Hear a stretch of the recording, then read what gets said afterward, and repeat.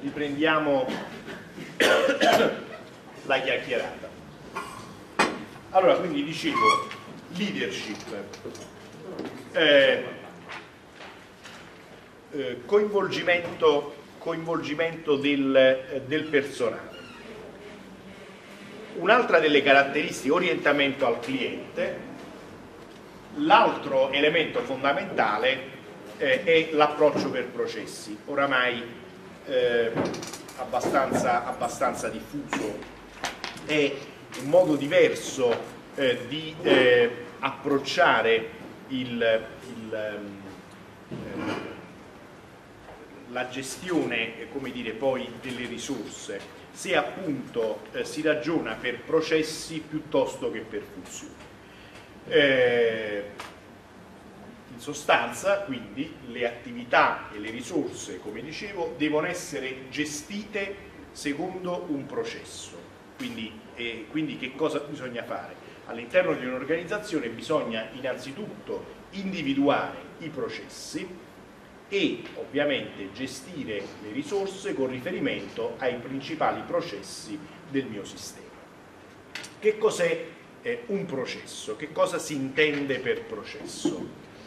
Eh, il processo in effetti è qualche cosa come, come definizione è qualche cosa che noi già eh, dovremmo conoscere almeno abbiamo imparato a conoscerlo quando abbiamo parlato eh, nell'ambito del corso di, eh, di, impianti industriali di sistema e, e di processo all'interno all di un sistema. È ehm, un ehm, insieme di attività eh, correlate e interagenti che utilizza risorse ehm, per trasformare elementi in entrata in elementi in uscita.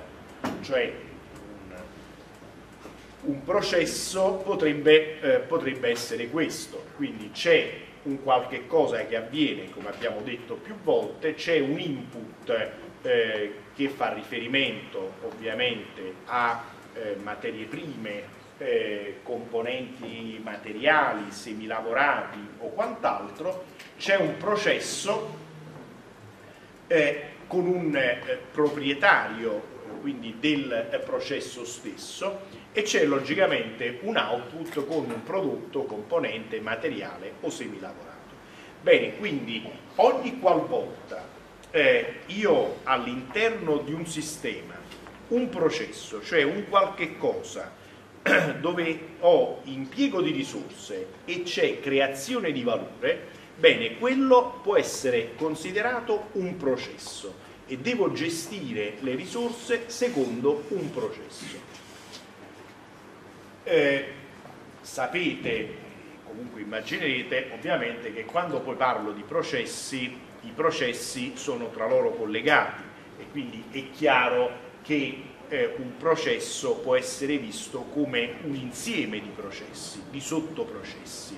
Ad esempio, eh, visto poi anche l'ora eh, che si approssima quella di pranzo, ehm, parlando del processo eh, preparazione di un piatto di pasta, eh, è chiaro che eh, tutti quelli che sono processi collegati eh, sono poi ehm, ovviamente eh, interni, possono essere visti come interni a quel processo. Eh, significa che ho un riscaldamento dell'acqua, la dosatura degli ingredienti, l'aggiunta del sale, la cottura della pasta, l'aggiunto del condimento e il servizio in tavola. Ebbene, questo è un poco quello che ehm, costituiva e costituisce il processo precedente che avevamo visto, che porta cioè dagli eh, ingredienti, l'input di componenti, le materie prime, a quello che è il prodotto finale. Questo approccio, l'approccio per processo, è l'approccio che viene richiesto all'interno della norma, ma dicevo, tenete presente che questo tipo di approccio viene richiesto oramai un po' dappertutto. Anche il Ministero, attraverso l'ABUR, chiede ad esempio alle università eh, che ehm, la gestione eh, avvenga attraverso eh, quella che viene definita la mappatura dei processi, cioè eh, viene chiesta alle università eh, agli Atenei di fare una mappatura dei processi e di gestire le risorse secondo, secondo quella che è questa mappatura dei processi che viene, eh, che viene realizzata.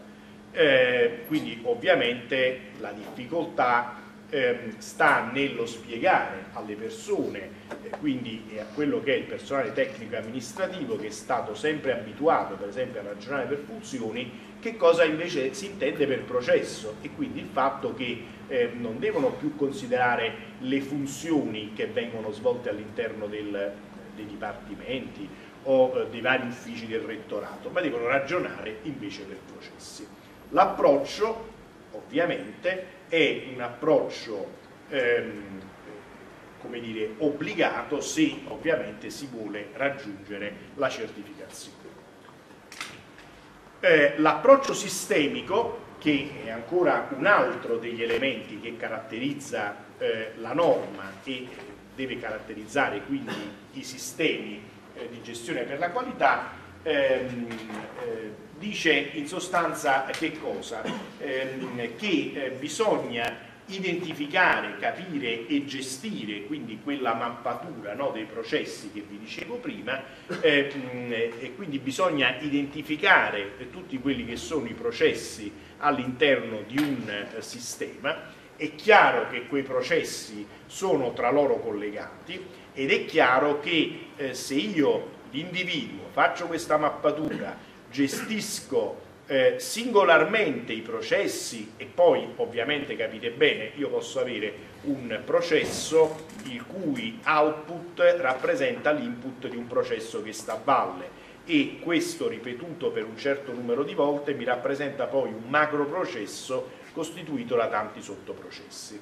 Bene, tutto questo, questo approccio, questo approccio sistemico contribuisce ehm, o dovrebbe contribuire all'aumento dell'efficacia e dell'efficienza del sistema stesso. Io apro una parentesi su questo concetto di efficacia ed efficienza no? che eh, oggi tanto, tanto, in uso e tanto diffuso, no? per cui eh, spessissimo sento eh, dire no? perché bisogna aumentare l'efficacia e l'efficienza, eh, però molte volte poi io chiedo per curiosità, dico ma cioè, è chiaro, ma cioè, che si intende per efficacia, per efficienza? Molto spesso si pensa che siano la, la stessa cosa, cioè che eh, sia un, un, un modo per, eh, quindi attraverso soltanto una terminologia diversa, indicare la stessa cosa.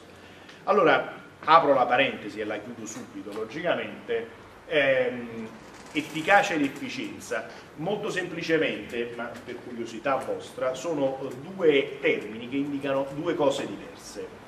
Eh, è chiaro che ehm, l'efficacia e l'efficienza vanno misurate rispetto al raggiungimento di un obiettivo, ma è chiaro che l'efficacia e l'efficienza misurano in maniera diversa il modo in cui arrivo all'obiettivo. Quindi è chiaro che se io fisso un obiettivo e raggiungo l'obiettivo posso essere efficace, efficiente perché sono stato bravo e ho raggiunto l'obiettivo, ma come ci sono arrivato? Questa è eh, la differenza. Bene, eh, l'efficacia è la capacità di raggiungere l'obiettivo. L'efficienza è eh, il modo in cui ho raggiunto l'obiettivo utilizzando al meglio, logicamente, quelle che sono le risorse e quindi l'efficienza è legato al fatto che io ho raggiunto l'obiettivo utilizzando al minimo le risorse. D'accordo? Quindi questa è l'efficienza. Molto semplicemente, eh, immaginate una situazione di questo tipo, punto di partenza, obiettivo fissato, no? Allora, devo arrivare all'obiettivo. Ci arrivo attraverso una strada più o meno tortuosa che questa. D'accordo? Allora, ho raggiunto l'obiettivo? Sì. Sono stato efficace. Ma sono stato efficiente? No.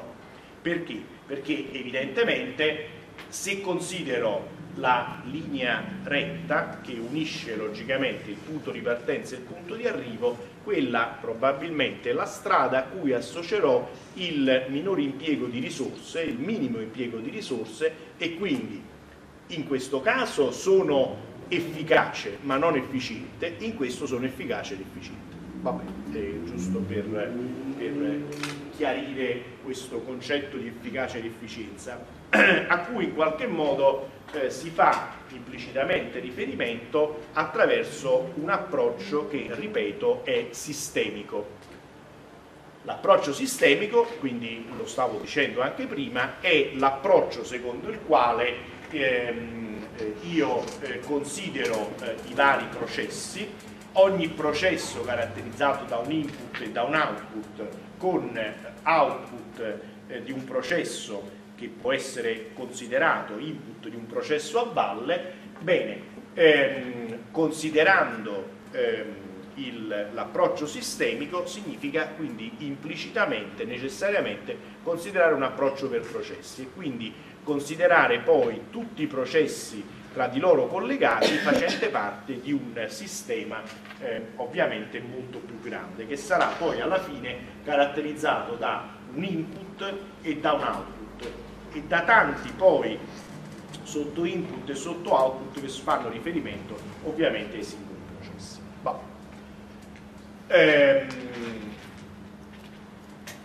sesto punto che caratterizza la, la norma, la ISO eh, 9001, è eh, un approccio eh, di tipo continuativo e di miglioramento continuativo. Eh, in sostanza questo si traduce eh, nel, ehm, nell'applicazione di quello che è il, la logica ehm, del miglioramento continuo o del PDCA, eh, Plan, Do, Check e Act. In, qual è l'innovazione in sostanza che viene eh, portata con questo, con questo metodo?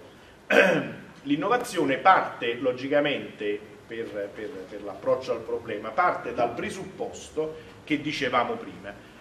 La qualità eh, non, non esiste un valore massimo della qualità, cioè quindi non posso pensare di aver raggiunto un determinato valore, un determinato livello di qualità e, e quindi di aver raggiunto il massimo. Quindi eh, quello rappresenta eh, un, uno stato finale, l'obiettivo che io devo raggiungere. No, la qualità è sempre migliorabile e di fatto eh, nella norma, ma poi anche nella pratica, nei sistemi, si parla di miglioramento continuo. Come lo posso attuare il miglioramento continuo? Bene, il miglioramento continuo può essere eh, attuato, può essere applicato proprio attraverso ehm, l'impiego e l'attuazione di, di questo principio che prende il nome appunto di ruota di Deming, proprio perché, come vedete, è una specie di, eh, di ruota dove ovviamente attraverso l'attività di check, di controllo, io posso ritornare ovviamente sulle, sulle fasi precedenti. In che modo? Allora, ehm, attraverso la fase di pianificazione, di plan, quindi io posso pianificare qualche cosa, la fase successiva è quella dell'esecuzione, quindi il do, faccio qualche cosa, quindi realizzo quello che ho pianificato, bene, a questo punto che cosa faccio? Per poter migliorare, per poter andare avanti, che faccio? Fatto quel qualche cosa vado a fare un check, vado a fare un controllo, vado a vedere eh, come sono andate le cose effettivamente, quindi rispetto a quello che mi ero prefissato di fare. Ehm, se ci sono margini di miglioramento, se eh, il ritorno da parte dei clienti è stato positivo, se ci sono delle cose che non sono andate bene. Bene, questo è il check, quindi un test, un controllo sui risultati e sui riscontri avuti da parte del cliente. E che me ne faccio di questi dati? Questi dati li utilizzo per eh, implementare un'azione successiva che è di miglioramento, quindi l'ACT. Intervengo a valle del check attraverso delle azioni che io ovviamente definisco per migliorare il processo che ho realizzato. E quindi, capite bene, una volta plan, do, check, act, che cosa faccio? A quel punto ripianifico di nuovo, no? sulla base dei risultati, attuo di nuovo eh, quello eh, che ho pianificato e faccio un nuovo check e di nuovo eh, procedo con azioni di miglioramento. Secondo questa logica, capite bene, se io percorro questa ruota, ehm, secondo la logica giapponese, in questo modo eh, io eh, è come se mi portassi automaticamente a un livello più alto, è come se facessi un piccolo miglioramento. Infatti questo miglioramento continuo a piccoli passi i giapponesi lo chiamano Kaizen, quindi è il miglioramento a piccoli passi che viene auspicato in tutti i sistemi e in tutte le organizzazioni e può essere attuato soltanto attraverso eh, l'attuazione, attraverso ehm, l'adozione di quella che appunto viene definita eh, ruota eh, di Deming o principio del PDCA, Plan, Do, Check e Act. La, ehm, si legge eh, solitamente che, a parte il PDCA, si legge molte volte anche di quello che viene definito il miglioramento continuo o la spirale del miglioramento, che eh, altro non è che questo, cioè in effetti qui vedete vi avevo semplicemente ehm, eh, esploso eh, e dettagliato quelle che sono le quattro fasi principali, plan, do, check e act, ma il risultato è lo stesso.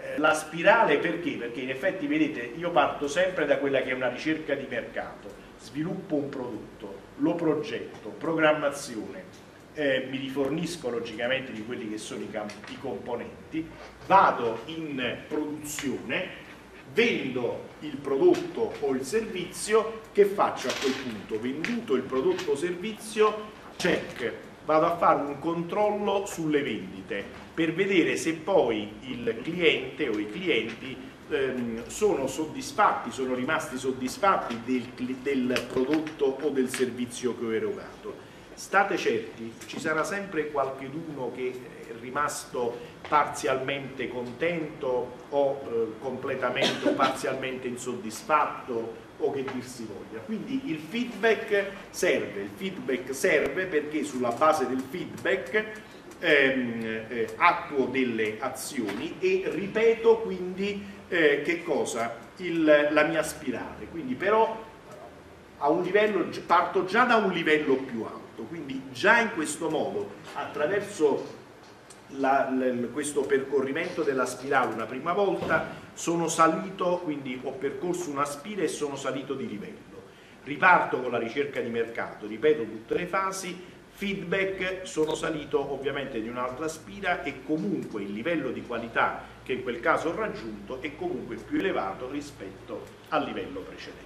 Quindi miglioramento continuo è un altro concetto che è alla base dei, di, tutti sistemi, di tutti i sistemi produttivi. Miglioramento continuo, ehm, bene, questa, questa slide e questa, questa eh, figura che hanno trovato, ma comunque eh, spiega comunque in maniera eh, molto semplice logicamente quello che poi il concetto che è alla base del Kaizen, che appunto è un cambiamento continuo eh, per piccoli passi.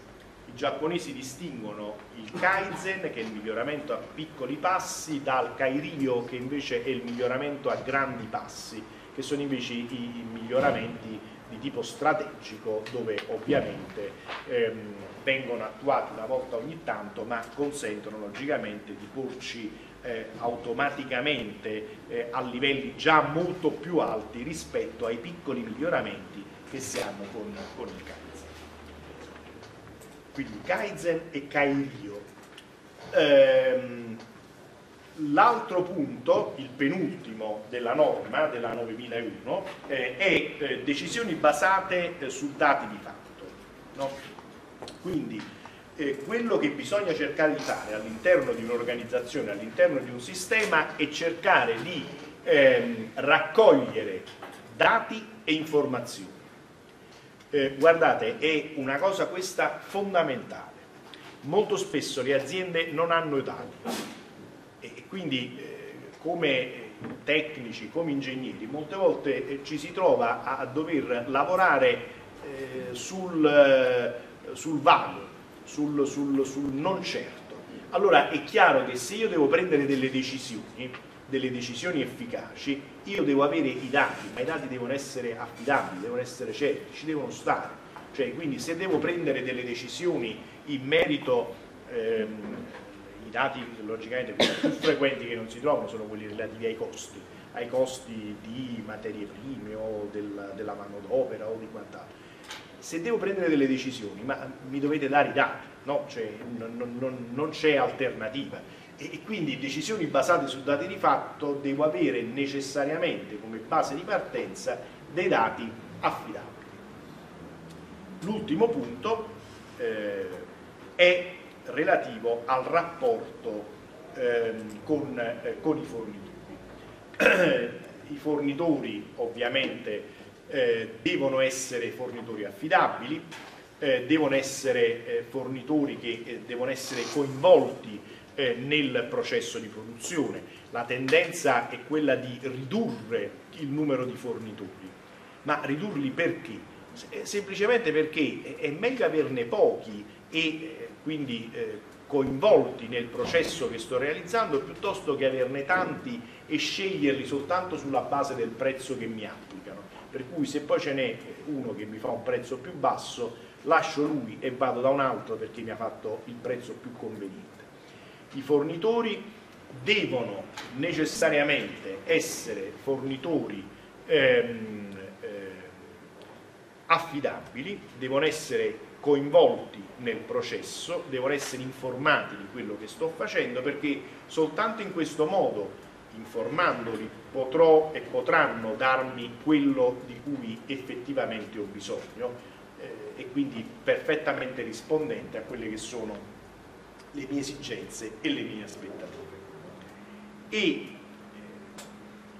per concludere, ehm, la struttura della ISO, della ISO 9001. La struttura della ISO 9001 è questa ehm, e di fatto la norma che cosa fa? Scende poi nel dettaglio di tutti questi punti ehm, noiosissimi e quindi certamente non sto qui a dirveli, mi interessa comunque che eh, vi siate fatti un'idea e spero ve la eh, si chiarisca comunque questa idea poi con il seminario che avevo, che avevo organizzato. Allora, ehm, la norma semplicemente dice con riferimento a tutti questi punti ehm, che, cosa bisogna, che cosa bisognerebbe anzi fare a parte logicamente vedete questi primi quattro punti che non sono, che non sono importanti introduzione, scopo e campo di applicazione, riferimenti normativi, termini e definizioni. Bene, dal quarto punto comincia a essere un pochettino più eh, importante e impegnativo. Allora, sistema di gestione per la qualità, responsabilità della direzione, gestione delle risorse, realizzazione del prodotto, misurazione, analisi e miglioramento. D'accordo? E questo, quello che io, eh, con riferimento a questi punti, è quello che io devo andare a scrivere nel manuale. Cioè nel manuale io devo dire ehm, il mio sistema di gestione per la qualità, ehm, com'è, quali sono le mie politiche, quali sono i miei obiettivi, eh, le responsabilità all'interno del mio sistema, individuate queste responsabilità attraverso innanzitutto i processi, per, i, per ciascuno dei quali devo trovare dei responsabili, devo dire come gestisco le risorse, come realizzo il prodotto e qui è a prescindere, quindi la norma non mi dice eh, guarda che c'è una norma, come vi dicevo, per le mozzarelle o la norma per i, chi fa le camicie o chi fa i mobili. È, è completamente generica la norma. È, è, chiaro che nel processo io devo andare a dire, ehm, quindi devo andare, ma sempre con rispetto, rispetto a quello che mi chiede la norma, ricordatevi che la certificazione, che è quella alla quale io sto puntando, è eh, in qualche modo dimostrare che opero conformemente a quanto stabilisce una norma. Quindi la norma non se ne importa se io faccio quindi ripeto, mozzarelle, macchine o altri prodotti. Mi dice soltanto guarda che devi avere un approccio che tiene conto ovviamente di tutti quei punti che abbiamo detto, eh, quegli otto punti che abbiamo visto in precedenza e ovviamente devi prendere in considerazione questi aspetti. L'ultimo è quello proprio misurazione, analisi e miglioramento, cioè ehm, per poter attuare quel miglioramento continuo di cui vi stavo parlando prima è chiaro che io devo avere e devo fare un, delle misurazioni, devo avere degli indicatori che li dovrò definire io, perché se no altrimenti io come faccio a sapere se il processo sta andando bene o sta andando male? Sulla sorta degli indicatori che avrò definito io potrò dire sto andando bene, sto andando male, devo fare di più, devo fare di meno e logicamente le conseguenti azioni e il miglioramento che deve essere eh, attuato. Questo schema è eh, lo schema che ho preso pari pari dalla norma. Vi dico ovviamente che cosa, che cosa, che cosa significa, che cosa rappresenta, ehm, è il concetto di miglioramento continuo.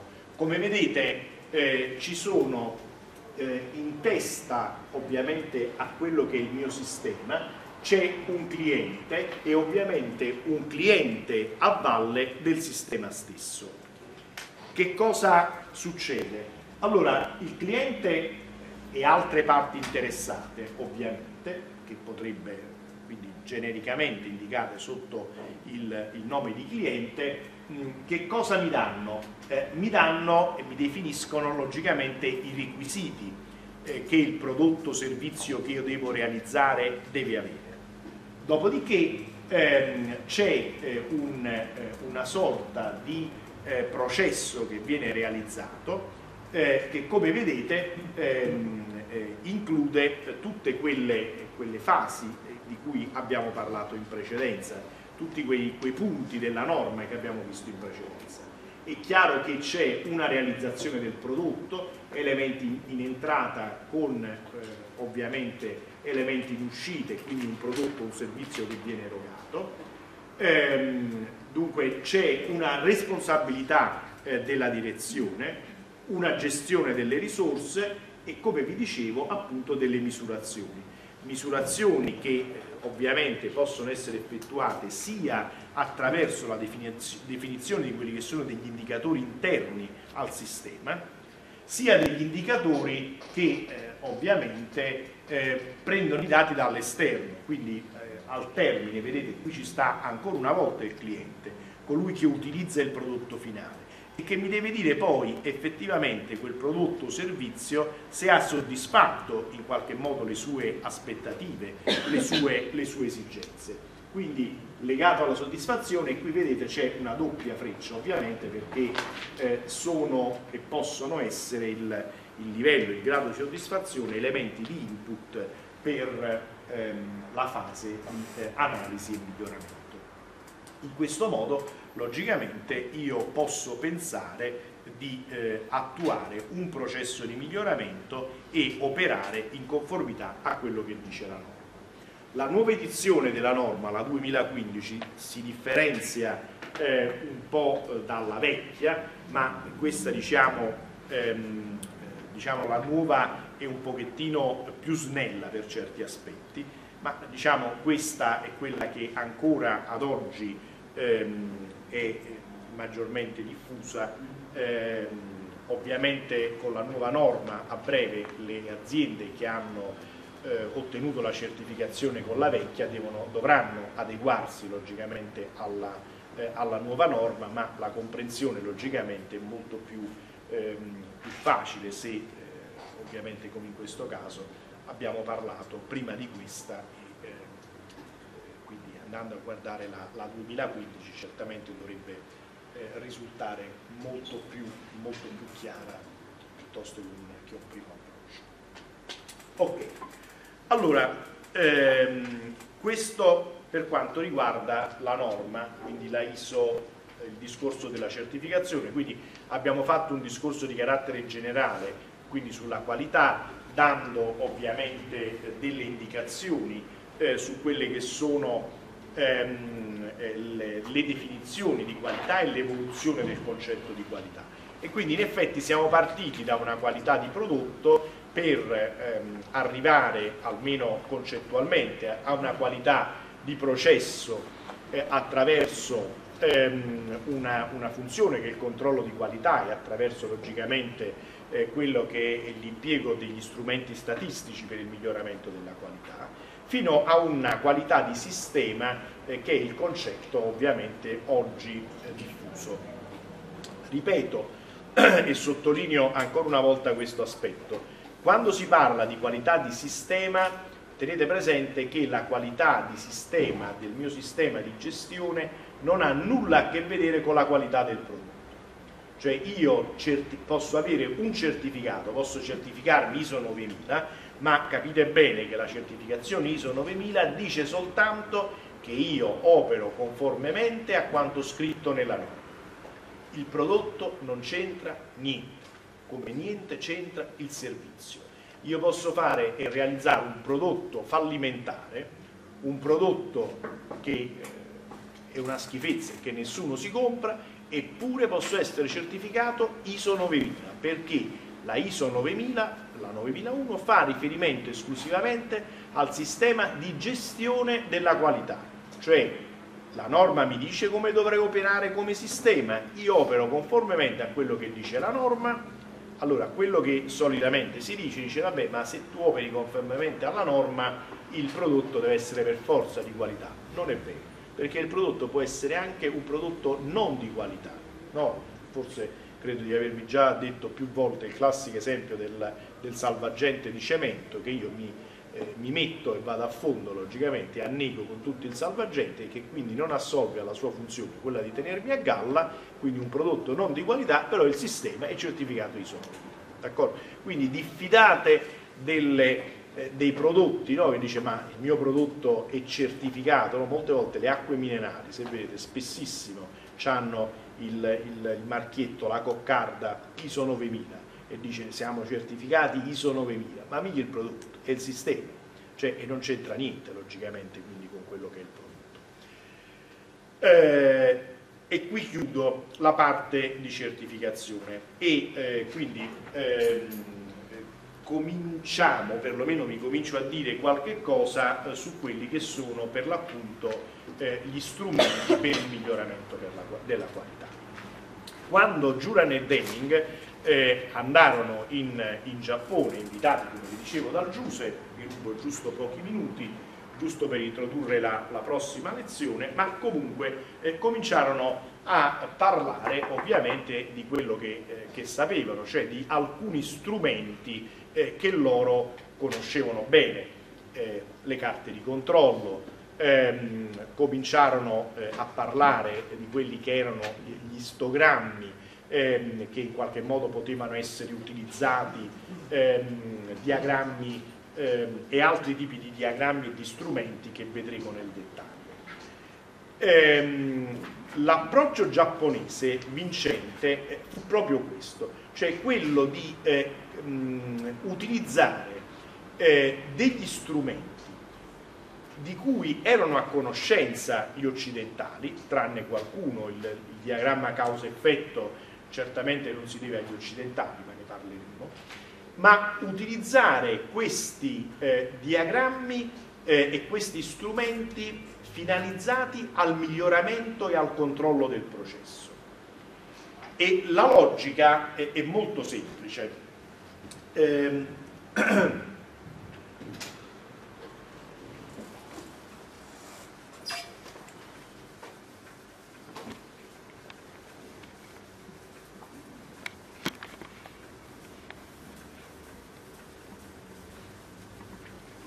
Allora, i sette strumenti di cui parleremo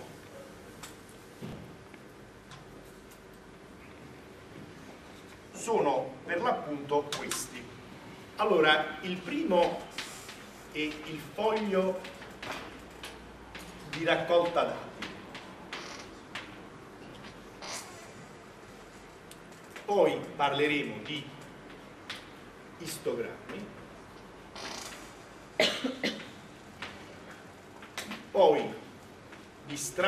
applicazione.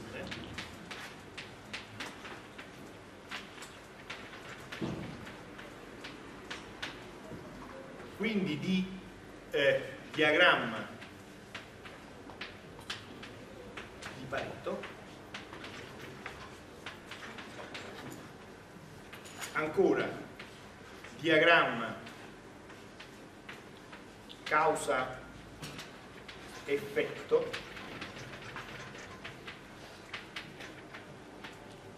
diagramma di Ishikawa ancora di correlazione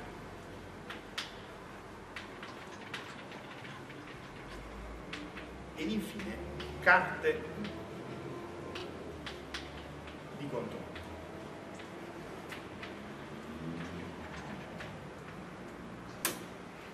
che possono sembrare slegati tra di loro, no? no. Dice, ma, ma c'è una logica, cioè, e la forza dei giapponesi fu proprio questa, cioè quella di utilizzare degli strumenti, alcuni introdotti da loro, ma altri esistenti, già esistenti, ma finalizzandoli a qualche cosa, dice guarda che se tu questi li utilizzi secondo una logica e secondo una certa sequenza, e beh, dei risultati li puoi avere, perché? E se tu raccogli dati, no? anche quello che dice la norma, no? bisogna avere dei dati di partenza che siano affidabili, allora comincia a raccogliere i dati. Allora ti dico innanzitutto come puoi raccogliere questi dati e eh, quali sono i, i supporti ehm, e le modalità di raccolta dei dati, perché tu poi questi dati li possa leggere in maniera chiara.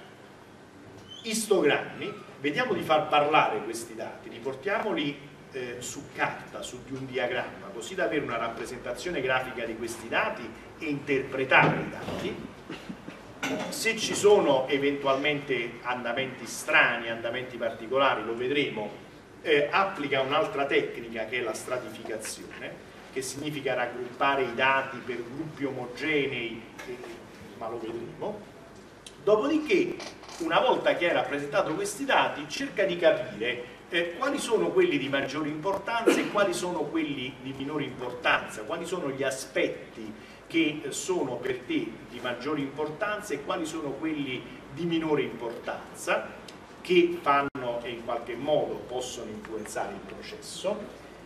Bene, cerca di capire per quelli di maggiore importanza quali sono eh, le cause eh, legate logicamente a quell'effetto cerca di capire l'entità del rapporto attraverso la correlazione e poi segui il processo attraverso le carte di controllo che eh, mi dicono di fatto con riferimento a quella che può essere eh, una grandezza di solito qualitativa del processo come varia questa grandezza nel tempo e quindi seguire l'andamento di di quella caratteristica, di quella grandezza. Bene, questi sono gli strumenti di cui noi parleremo e di cui ovviamente ehm, tratteremo nella, eh, nella, nelle prossime lezioni, quindi li tratteremo nell'ordine, cercando come dire, di, di, ricordarvi, cercherò di ricordarvi sempre che eh, questi strumenti hanno una loro logica e una loro eh, conseguenzialità, quindi eh, vanno applicati ehm, nell'ordine. È chiaro che poi ne posso applicare alcuni anche in maniera spot, ma do per scontato ovviamente che ho i dati o in precedenza ovviamente abbia fatto altre cose. Ok, va bene ragazzi, io mi fermo qui.